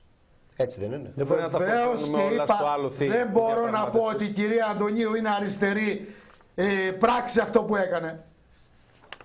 Ε, πώς θα γίνει; Βεβαίως είναι κεντρικά ζητήματα, είπαμε τα θέματα της υγείας, αλλά εδώ πρέπει να δούμε τα τοπικά. Να δούμε λίγο εδώ Λάρκο. Πρέπει λίγο να πάμε όλοι μαζί και να σταθούμε σοβαρά πώς μπορούμε να βοηθήσουμε στο τοπικό. Ότι είναι όλοι οι φορείς. Δήμοι, εργατικό κέντρο, περιφέρεια, το θέμα του νοσοκομείου, το θέμα της υγείας πρωτεύων. Στο Λάρκο. θέμα της Λάρκο. Στο θέμα της Λάρκο έχουμε να πω λίγο για τις, ε, εδώ ξαναείπαμε για το θέμα του Μάρδας να δηλώνει... που από την πρώτη στιγμή είπε ότι υπάρχει στρατηγικός επενδυτής. Προχθές στις δηλώσεις του Είπε για διεθνή εταιρεία. Είπε για μια εταιρεία σοβαρή η οποία δεν θέλει να αγοράσει τη Λάρκο, αλλά θέλει να βγάλει κέρδη. Το πώς μπορούμε αυτά τα δύο να το δούμε και ότι συγχρόνως συμφωνεί να υπάρχει δημόσια και ενιαία Λάρκο είναι ζητήματα που δεν παντρεύονται εύκολα. Αυτά. Θα δούμε το επόμενο διάστημα. Ε, Πάντως σήμερα τα σωματεία είχαν τετράωρη στάση εργασίας, είχαν γενική συνέλευση, το θέμα της συλλογικής σύμβασης, το θέμα της ενσωμάτωσης των εργαζομένων στο μηχανολογικό εξοπλισμό. Έτσι. Και περιμένουν με πολύ μεγάλη αγωνία το θέμα να συνεχίσει να βγάζει μεγάλη παραγωγή η Λάρκο, που και εκεί είναι θέμα των μεταλλαγμάτων, το θέμα ότι μπαίνει μέσα. Είχαμε και την επερώτηση του βουλευτή του Σταθά, Γιάννη Σταθά. του Γιάννη Σταθά, που ότι είναι σημαντικό. Και ο Γιάννης Σταθάς, επειδή ξέρει και ήξερε και ξέρει και σαν πρόεδρος του κρατικού κέντρου εκεί, ότι εδώ υπάρχει ένα ζήτημα που πρέπει να τη στηρίξουμε άμεσα. Αν αρχίσει να μπαίνει η Λάρκο αυτό το διάστημα μέσα, είναι πιο εύκολα να το περάσουμε μετά κάπως διαφορετικά ότι πρέπει να μπει ο στρατηγικός επενδυτής. Τι θα λέγατε να αρχίζαμε από τα εύκολα και να μειώναμε ας πούμε την τιμή της, του ρεύματος στη Λάρκο; το θέμα της... Ε, Διότι της... αν δεν κάνω λάθος και δεν κάνω λάθος... Δεν κάνετε λάθος. Έτσι. Νομίζω ότι είναι μέτοχος η ΔΕΗ. Βεβαίως είναι μέτοχος και μεγαλομέτοχος. Η ΔΕΗ έχει ιδιωτικοποιηθεί. Όχι βέβαια. Μου διαφεύγει κάτι εμένα. είναι κρατική ιδεή. Και Γιατί είναι... αν είναι κρατική ιδεή, στην κρατική αριστερή κυβέρνηση του κυρίου Λαφαζάνη, ίσως κάποιος θα έπρεπε να πάει να πει ότι ρίξτε λίγο ρε παιδιά την τιμή του ρεύματος. Λέω εγώ τώρα. Όπως την έχει ρίξει στο Μητελινέο. με το εργοστάσιο να πάει καλύτερα. Όπως την έχει ρίξει στο Μητελινέο θα, και στην Πεσσινέ και χωρίς συγκρίσεις. θα πρέπει το ίδιο να κάνει που είναι ιδιωτική εταιρεία. Γιατί στο Μητελινέο δεν είναι μέτοχος η ΔΕΗ. Το ίδιο θα πρέπει να. εκεί που δεν είμαστε. Λοιπόν. Άρα λοιπόν σε αυτό που είπατε προηγουμένω, όπως τον ιδιώτη έχει δώσει μια άλλη τιμή, στην κρατική Λάρκο δεν πρέπει να δώσει μια άλλη τιμή. Δεν θα έπρεπε να ήταν της επόμενης μέρας. Έργο αμέσως. Βεβαίως. Θα περιμένουμε θα περιμένουμε ναι, αλλά πρέπει να... Αυτό είναι διαπραγμάτευση. Κάποιοι πρέπει να σας, για να μην το θέτω έτσι μόνο δημοσιογραφικά, κάποιοι θα πρέπει να σας εξηγήσουν για ποιο λόγο δεν το κάνουν κύριε Τσάμε. και μήπως πρέπει να ζητήσετε, συνάντηση... μήπως πρέπει να ζητήσετε και από τους βουλευτές εκτός από τους υπουργούς και υφυπουργούς να σας απαντούν σε τέτοια ερωτήματα. Διότι θυμάμαι άλλες τοποθετήσεις προεκλογικά. Η μόνη συνάντηση που δεν προχώρησε με την Λάρκο είναι με τον κύριο Λαφαζάνη, να ξέρετε έτσι. Ενώ οι συναντήσει έγιναν με τους άλλους υπουργούς, με τον κύριο Λαφαζάνη δεν έχει γίνει ακόμη και θα περιμένουμε να γίνει και συνάντηση με τον κύριο Λαβαζάνη να ξεκαθαριστεί και το θέμα της ενέργειας και της ΔΕΗ. Έτσι. Οι τοπικοί βουλευτές, εδώ πρέπει να πούμε, οι τοπικοί βουλευτές είχαν μια δέσμευση ότι θα παραμείνει δημόσια η Λάρκο. Αυτό τουλάχιστον βγάλαμε κοινό ανακοινωθέντους και οι τέσσερι και δεν έχω κανένα λόγο να τα αμφισβητήσω.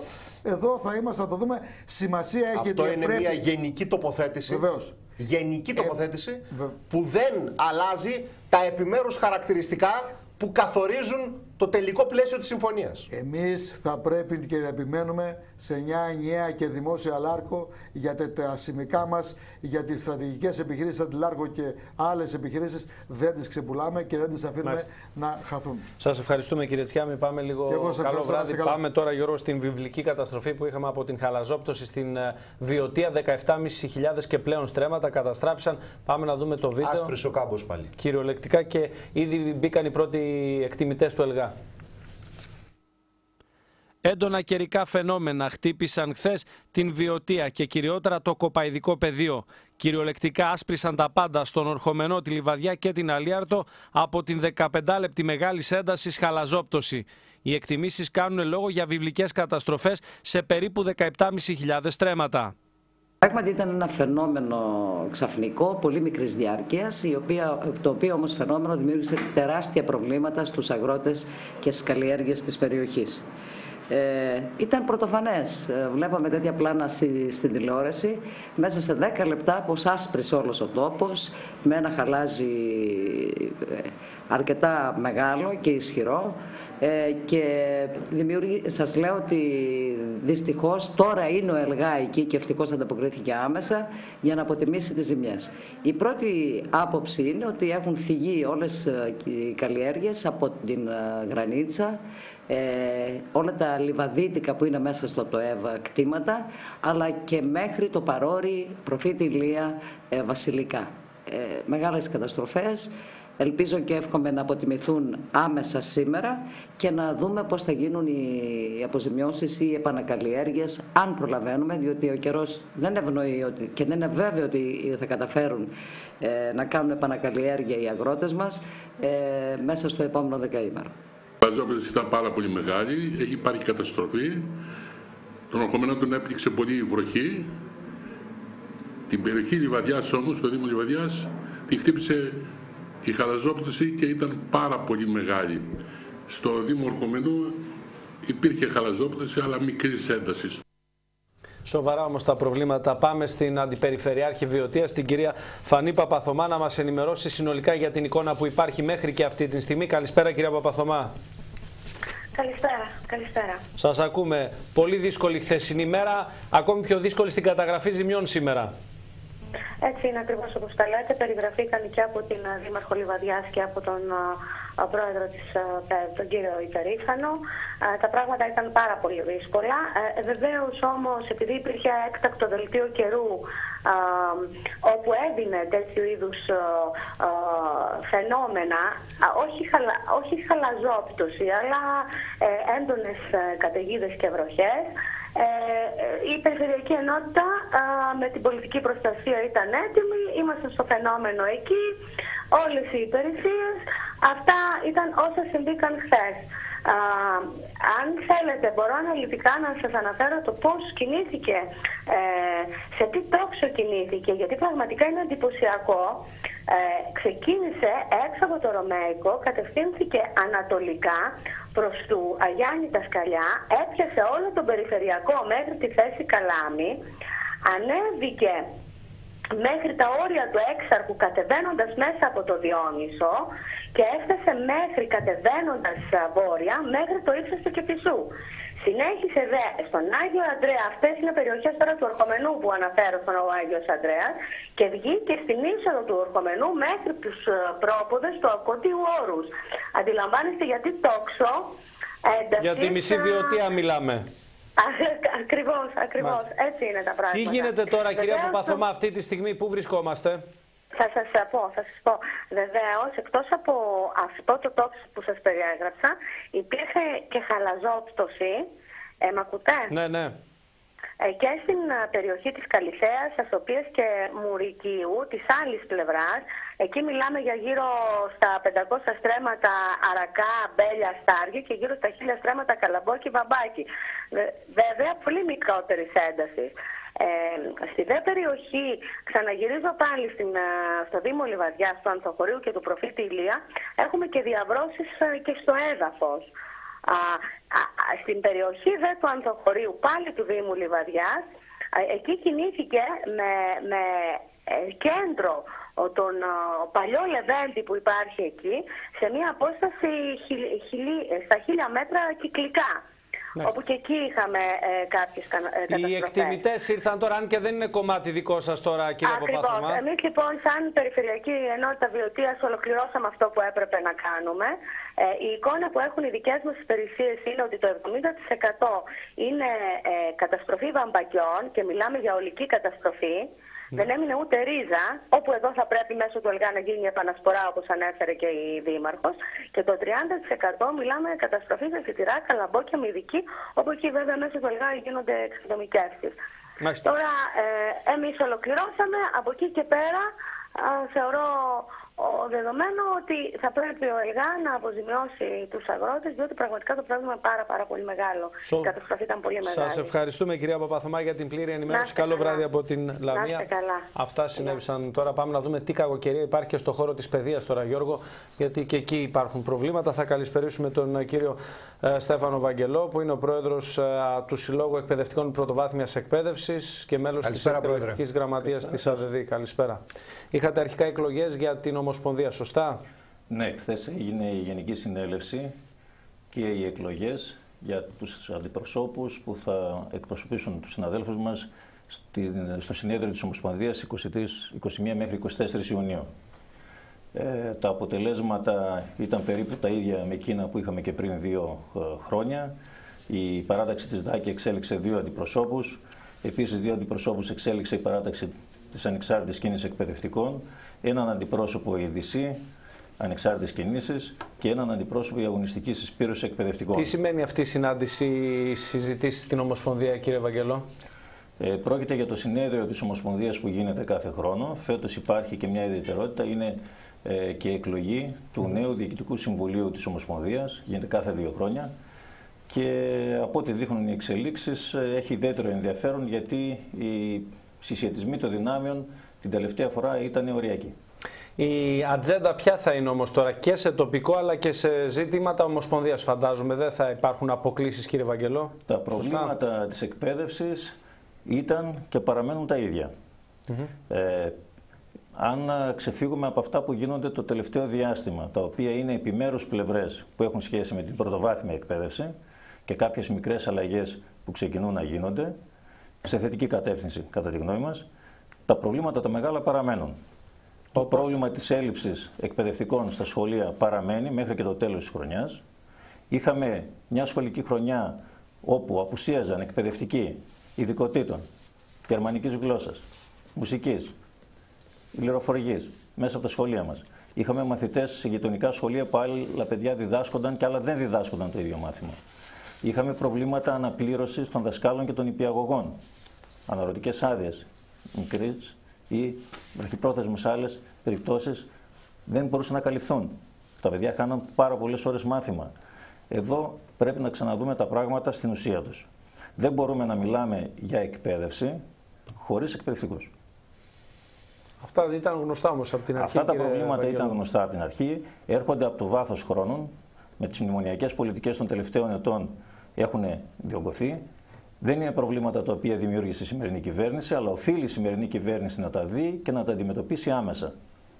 Ένα άλλο πρόβλημα επίσης μεγάλο το οποίο αντιμετωπίζουν τα σχολεία μας τα τελευταία χρόνια και συνεχίζουν και σήμερα να το αντιμετωπίζουν είναι η χρηματοδότηση. Έχουμε σχολεία τα οποία λειτουργούν με 1.700 ευρώ το χρόνο έσοδα. Με πόσα είπατε, 1.700 ευρώ το χρόνο. Λειτουργούν δηλαδή; Λειτουργούν, ή υπολειτουργούν ή δεν λειτουργούν καθόλου. Λειτουργούν και λειτουργούν με ό,τι αυτό συνεπάγεται, επιβάρηση γονέων, εκπαιδευτικών και οποιονδήποτε άλλων μπορούν να συνεισφέρουν. Ή λειτουργούν χωρίς να μπορούν να καλύψουν και να εξυπηρετήσουν βασικές ανάγκες μέσα στο σχολείο. Κύριε Βαγγελό, τώρα εδώ υπάρχει μια νέα κυβέρνηση όμως, να δούμε τα φρέσκα κουλούρια, να το πω επί των λαϊκότερων. Τι γίνεται τώρα, μια νέα κυβέρνηση που αρχίζει και κάνει ήδη αλλαγές. Υπάρχουν προς την σωστή κατεύθυνση κάποιες κινήσεις ή συνεχίζει το μοτίβο το προηγούμενο. Το πρώτο θετικό βήμα το οποίο έγινε για μας ε, στην πρωτοβάθμια εκπαίδευση ήταν η αναστολή της, εξ, της αξιολόγησης των εκπαιδευτικών. Αν θυμάστε, ήταν ένα μοντέλο αξιολόγησης των εκπαιδευτικών, το οποίο προέβλεπε διαθεσιμότητες και απολύσεις. Ένα μοντέλο το οποίο μας χώριζε σε ποσοστά πετυχημένων επαρκών ή ανεπαρκών εκπαιδευτικών, από πριν Ναι. ακόμη γίνει η αξιολόγηση. Δηλαδή, είχαμε μία πολιτική από τις προηγούμενες κυβερνήσεις που προέβλεπε ότι πριν αξιολογηθούν οι εκπαιδευτικοί, το 20% από αυτών που είναι από τους νεότερους εκπαιδευτικούς είναι ακατάλληλοι να πάνε στον επόμενο βαθμό. Και με, τα ίδια- με το ίδιο σκεπτικό αυτό το ποστό συνεχιζόταν μέχρι και σε εκείνους που πλησίαζαν να βγουν στη σύνταξη. Το μοντέλο λοιπόν αυτό της αξιολόγησης που εμείς την ονομάσαμε αξιολόγηση σφαγείο ανεστάλη, Ναι. αυτό είναι ένα πρώτο θετικό βήμα. Παραμένει να δούμε τώρα το σχεδιασμό της νέας κυβέρνησης, η οποία μιλάει για αποτίμηση του εκπαιδευτικού έργου μέσα από διαδικασίες επιστημονικές, συλλογικές, με λόγο στο Σύλλογο Διδασκόντων των Εκπαιδευτικών και με στόχο όχι την τιμωρία των εκπαιδευτικών, αλλά, την αναβάθμιση του ρόλου τους, την επιμόρφωσή τους, η οποία επιμόρφωση είχε καταργηθεί τα τελευταία χρόνια, δεν είχαμε τη δυνατότητα να συμμετέχουμε σε κανένα είδους επιμόρφωση, την επαναφορά θεσμών στα σχολεία που στηρίζουν τους μαθητές που έχουν δυσκολίες, είτε αυτή λέγεται ενισχυτική διδασκαλία είτε παράλληλη στήριξη, φροντιστηριακά τμήματα κλπ. Και ελπίζουμε ότι αυτό θα υλοποιηθεί σύντομα και θα δοθεί δυνατότητα και στον χώρο των εκπαιδευτικών να καταθέσει προτάσεις. Έχουμε ένα πρόβλημα σε αυτές τις αλλαγές που γίνονται αυτό το διάστημα. Δεν υπάρχει χρόνος αρκετός από τη μεριά της κυβέρνησης που να δίνεται στη διαβούλευση των θεμάτων και να μπορέσουν όλοι οι φορείς, οι άμεσα εμπλεκόμενοι και οι ενώσεις γονέων αλλά και οι εκπαιδευτικοί να κουβεντιάσουν τα ζητήματα και να καταθέσουν προτάσεις. Ελπίζουμε ότι σταδιακά και αυτό θα διορθωθεί και θα υπάρχει δια- στη διαδικασία της διαβούλησης περισσότερος χρόνος. Μάλιστα. Λοιπόν, είμαστε εδώ, τα παρακολουθούμε κύριε Βαγγελό ε, και στην ε, πορεία προς την ε, Ομοσπονδία και τις ε, συζητήσεις που θα κάνετε συνολικότερα. Ένα άλλο θέμα το οποίο αν έχουμε λίγο χρόνο θα ήθελα να Έχουμε αναφέρω. ένα λεπτό, πείτε μου, ναι. Ε, είναι η διαδικασία επιλογής των νέων στελεχών στην εκπαίδευση. Αυτές τις μέρες έχει ξεκινήσει η διαδικασία επιλογής ε, των νέων διευθυντών στα σχολεία, αφού έλυγε η θητεία τους, τέλος του Ιούνιου. Πρόκειται για μια αλλαγή η οποία έχει επέλθει. Το, ε, το μέτρο το οποίο μέχρι τώρα συνυπολογιζόταν με προφορική συνέντευξη των υποψηφίων, που για μας ήταν μια διαδικασία καθαρά στημένη και την είχαμε καταγγείλει στο παρελθόν πάρα πολλές φορές οι εκπαιδευτικοί και ε, σαν συνδικαλιστικοί φορείς, καταργείται και στη θέση της προφορικής συνέντευξης λοιπόν μπαίνει τώρα η άποψη ψη- με ψηφοφορία του Συλλόγου Διδασκόντων. Οι εκπαιδευτικοί δηλαδή κάθε σχολείο Ναι. θα ψηφίσουν και θα πούν τη γνώμη τους για τους υποψήφιους διευθυντές του Αξιοκρατικό σχολείου μου αυτό. ακούγεται αυτό. Ακούγεται, είναι δημοκρατικό. Δεν ξέρουμε αν θα λειτουργήσει αξιοκρατικά. Αυτό είναι ένα πείραμα το οποίο θα φανεί. Θα εξαρτηθεί καταρχήν από τους ίδιους τους υποψήφιους Έχει τι στάση θα παγίδες. κρατήσουν. Έχει πάρα πολλές παγίδες. Εάν μπούμε σε μια διαδικασία εκλογικού αγώνα με όλες τις πλάγιες μεθόδους που έχουμε μάθει να χρησιμοποιούμε στη χώρα μας εν ώψη εκλογών, ε, φοβάμαι πολύ ότι αν οι ίδιοι υποψήφοι γλιστρήσουν σε αυτό το επίπεδο, θα δημιουργήσουν προβλήματα μέσα στις σχολικέ μονάδες. Εάν οι ίδιοι υποψήφοι σεβαστούν τη γνώμη των συναδέλφων, και, που είναι και όριμοι και γνωρίζουν και τα πρόσωπα, και τους επιτρέψουν να εκφραστούν ελεύθερα, Υπάρχει νομίζω άλλη ότι θα διαδικασία; είναι μια διαδικασία πολύ καλύτερη από αυτή που είχαμε Υπάρχει μέχρι τώρα. καλύτερη διαδικασία από αυτή; Υπάρχουν πολλές απόψεις. Υπάρχει η άποψη και συζητιέται αρκετά ότι θα πρέπει να ξεπεράσουμε τη μονοπρόσωπη διοίκηση. Γιατί να έχουμε δηλαδή προϊστάμενο διευθυντή στα σχολεία και όχι συμβούλιο διοίκησης, αφού όλοι οι θεσμοί διοικούνται σήμερα από συμβούλια. Το ίδιο, με- μέσα στο ίδιο πλαίσιο λοιπόν, με αιρετή διοίκηση, θα ήταν πολύ καλύτερα τα πράγματα, εκεί δηλαδή που θα προσδοκά κάποιος ε, ε, μέσα ωφελημισμό. Θα ψηφίζουν και στα σχολεία για αποφάσεις; Ορίστε. Θα ψηφίζουν, λέω, στα σχολεία και στα σχολεία για αποφάσεις; Τα ΔΣ. Εκείνο το οποίο επιδιώκουμε είναι να αυξηθεί ο ρόλος των αρμοδιοτήτων στο Σύλλογο Διδασκόντων, να μειωθούν δηλαδή οι αρμοδιότητες των διευθυντών ή των συμβουλίων διοίκησης, αν προκύψει κάτι τέτοιο στο μέλλον, και να μπορούν οι Σύλλογοι Διδασκόντων να αποφασίζουν και να υπάρχουν τα εκτελεστικά όργανα πια, όπως γίνεται σε όλες τις διοικήσεις, που θα εκτελούν και θα υλοποιούν αυτές τις αποφάσεις. Λοιπόν, κύριε Βαγγελό, σας ευχαριστούμε για την παρουσία σας. Καλό βράδυ, Εγώ να σε είστε ευχαριστώ. καλά. Πάμε σε αγροτικό ρεπορτάζ πα- πάλι, Γιώργο, τώρα γιατί φαίνεται πως υπάρχουν διαφωνίες στους αγρότες. Αν πρέπει να, βγούμε, να βγουν στους δρόμους ή όχι. Πάμε να δούμε τη δήλωση ο κύριος Τσαγαλάς. Έχουμε αρκετό πολιτικό ρεπορτάζ και εξελίξεις της τελευταίας στιγμής. Έχουμε φτάσει στα όρια του γραφικού πλέον δηλαδή. Αυτό το πράγμα όποιος το ακούει, το ακούνε οι τηλεθεατές σας τώρα. Καταρχήν, εκ των προτέρων σας πω ότι δεν πρόκειται να γίνει όχι κινητοποίηση, δεν πρόκειται να γίνει βήμα. Δεν έχει συμβεί στα χρονικά μέσα στο καλοκαίρι ο αγρότης καίγεται κάποιοι να μιλούν για κινητοποίησεις. Άρα κάτι άλλο θέλουν. Δεν ξέρω. Δεν μπορώ να πω. Αυτό το πράγμα είναι να μην το χαρακτηρίσω αλλιώς. Είναι γραφικό. Βγαίνουν κάποιοι και μιλάνε για κινητοποιήσεις εν μέσω καλοκαιριού. Έχουν πάρει φωτιά τα μπατζάκια μας, ο κόσμος τρέχει πανικόβλητος, υπάρχουν θεομηνίες, δεν υπάρχουν λεφτά. Η χώρα είναι. Μπαίνουμε, βγαίνουμε από το ευρώ. Και στο κάτω-κάτω, όταν μιλάμε για αγροτικές κινητοποιήσεις, πάνε ψηφίζουν οι γενικές συνελεύσεις των θεσμοθετημένων οργάνων. Ποιο ήταν αυτό το όργανο που μου είπατε, που πήρε απόφαση για κινητοποίηση. Πανελλαδικό συντονιστικό. Πανελλαδικό τι, το, το είπα και, στο, και τις προάλλες, πανελλαδικό τι, συντονιστικό όργανο των μπλόκων. Υπάρχει κανένα μπλόκο τώρα να συντονίσουμε; Δεν καταλαβαίνω τη λογική τους. Συναντιόνται κάθε τρεις και λίγο και λένε πετάνε διάφορα περιτεχνήματα. Γιατί δεν γίνονται επίσημο όργανο; Εγώ έχω, τους έχω προκαλέσει τόσες φορές. Κατεβείτε σε εκλογές και να φω και εγώ να σας ψηφίσω, ρε παιδιά. Όχι όμως έτσι. Δεν εκπροσωπεί κανένας τίποτα. Ε, εδώ λέω από την εμπειρία τη δική μου για τη βιωτεία. Και από τη φιότητα από ό,τι ξέρω λίγα πράγματα. Δεν μπορώ να μιλήσω για τη Μακεδονία. Εδώ ο καθένας είναι από ένα χωριό με τέσσερις κατοίκους και λέει εκπροσωπώ αγρότες. Τι εκπροσωπείς, ποιον εκπροσωπούν; Μόνο τον εαυτό τους.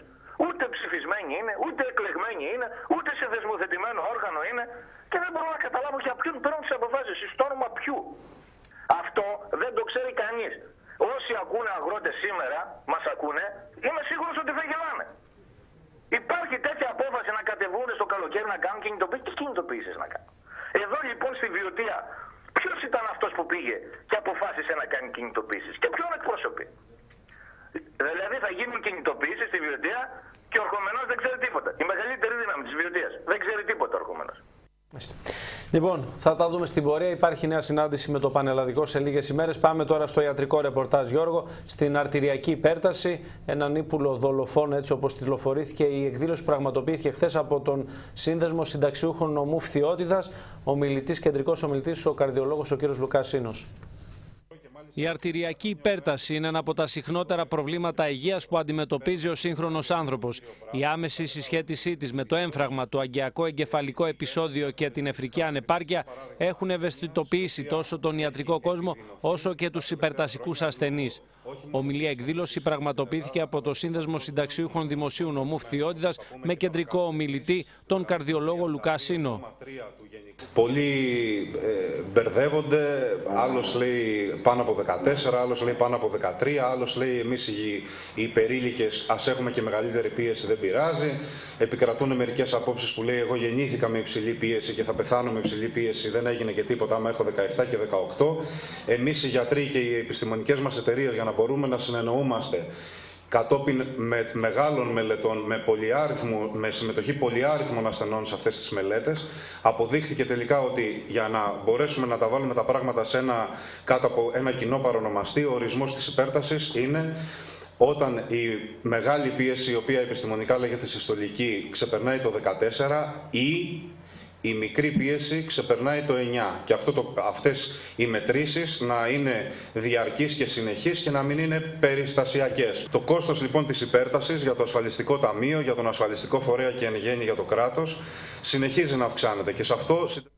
Λοιπόν, ραγδαίες πολιτικές εξελίξεις. Τηλεδιάσκεψη Τσίπρα, Μέρκερ, Ρολάντ δίρκησε περίπου μία ώρα. Πάμε στον βουλευτή ΣΥΡΙΖΑ Νομού Βιωτία και για άλλα θέματα, τον κύριο Γιάννη Σταθά. Καλησπέρα, κύριε Βουλευτά.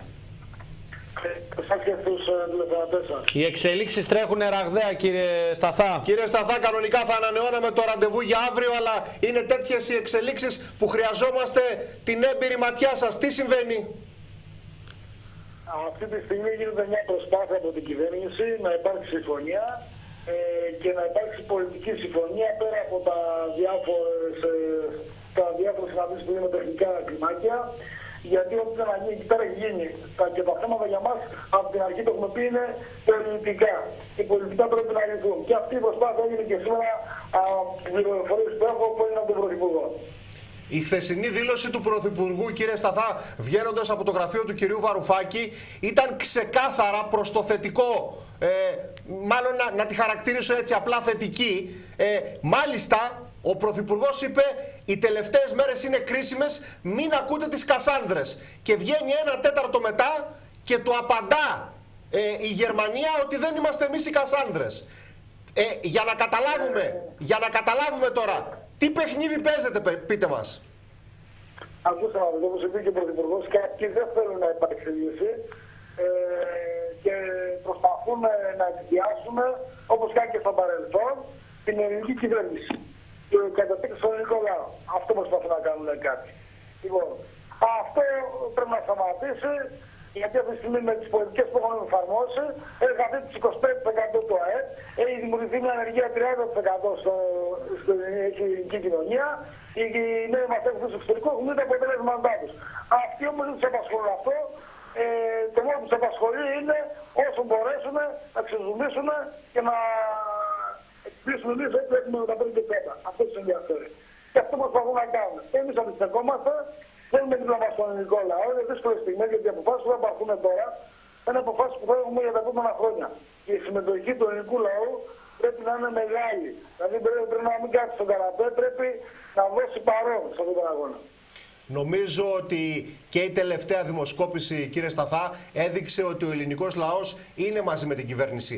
Όμως υπάρχουν κάποιες δηλώσεις στελεχών της κυβέρνησης που δεν μπορούν να αγνοηθούν. Όπως η σημερινή του κυρίου Τσακαλώτου, που σας τη διαβάζω ακριβώς, ζήτησε παρέμβαση σε ανώτατο πολιτικό επίπεδο και πιθανολογώ ότι εννοούσε τις Ηνωμένες Πολιτείες για να επιτευχθεί η συμφωνία. Ε, ήδη... Ναι. Επιδιάσουμε πριν λίγο. Ναι. Μεταξύ Μέρκελ, Ολάν και του Πρωθυπουργού του, ε, του Συντρόφου του, του Τσίπρα. Άρα λοιπόν αυτή τη στιγμή ε, υπάρχει μια πραγματική, γίνεται διαπραγμάτευση ε, και σίγουρα συμφωνία θα, θα υπήρχε μόνο σε δύο περιπτώσεις. Ή να συμφωνούσαμε εμείς με τον Μέγα Χαρδούβελη, ή να συμφωνούσαμε οι δανειστές με το πρόγραμμα τη Θεσσαλονίκη. Και αυτό και γίνεται από την άλλη πλευρά, γι' αυτό και έχουμε αυτό το πράγμα που γίνεται αυτή τη στιγμή. Μάλιστα.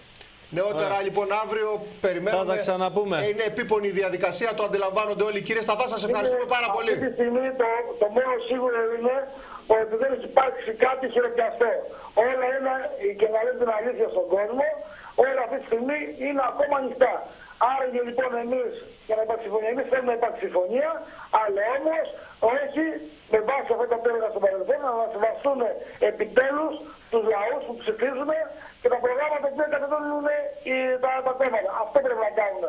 Για να υπάρξει πάλι δημοκρατία. Γιατί βλέπουμε ότι έχουμε έφταξη του φασισμού και του ναζισμού στην Ευρώπη. Και σε αυτό έχουμε μεγάλη ευθύνη ο ΣΕΔ και οι υπόλοιποι που έχουν αυτέ τις πολιτικές. Σας ευχαριστούμε κύριε Σταθά. Καλό βράδυ από τη Λαμία. Καλό βράδυ σε Γιώργο, σε ευχαριστώ και εσένα για την παρουσία σου και τα σχόλια. Είναι σημαντικές οι εξελίξεις. Θα έχουμε αύριο σίγουρα νεότερα. Καλό βράδυ σε σένα. Να ευχαριστήσω τις φίλες και φίλους που μείναν συντονισμένοι με την ενημέρωση και το κεντρικό δελτίο.